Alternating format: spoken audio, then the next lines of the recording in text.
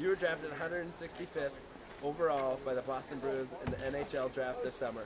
How did you find out and how did you react? Uh, I was actually with my goaltending coach down in the Minneapolis area, and we were just coming back from brunch, and uh, he ran out of the house and kind of screamed and yelled that I was drafted and stuff. So he was watching the computer all day, so kind of worked out from there. What is the biggest adjustment you feel you will need to make jumping from Minnesota High School, where you won the Frank Brimsek Award for Best Senior Goalie, to the USHL?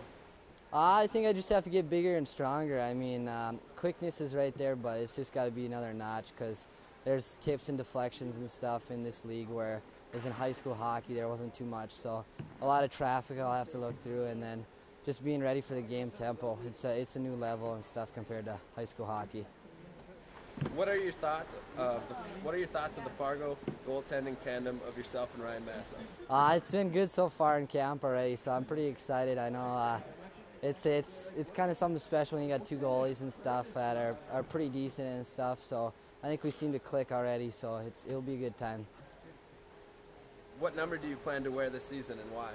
Uh, I don't know what number Mass wears, but uh, I usually have been rocking 31. So we'll see what happens. Just just a traditional goalie number, I guess. What do you expect your role to be with the Force this coming season?